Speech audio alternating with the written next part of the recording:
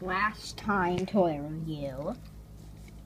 Petrov Trunkov Tyler Gremlin and Henchman Pacer. Now let's go on to what I promised in the video we're gonna do next. The, the deluxe Grem Sabotager and Roger Gremlin. So let's get started. So first of all, Roger Gremlin is based as a as a Dodge Challenger, I believe. The license plate says M1911. Wait. One. Wait, no. M1911A1. He's got black backlights. He's got a nice little mustache fake thing. I don't know, just his grill, basically. Then you got these black windows basically, but yeah, it's rather really. If you've seen the movie, it's not too bright. Let's get onto these.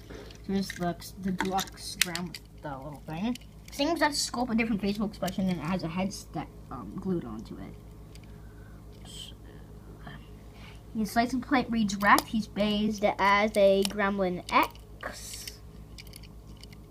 He has like red inside of his little tires, but yeah, different facial facial expression, which looks a lot more like his facial expression movie. Little headset, which is actually pretty cool. Well, that's about it. It's ground basically. Here's the cool little sabotager. This was, I think, this was like supposed to be the deluxe part.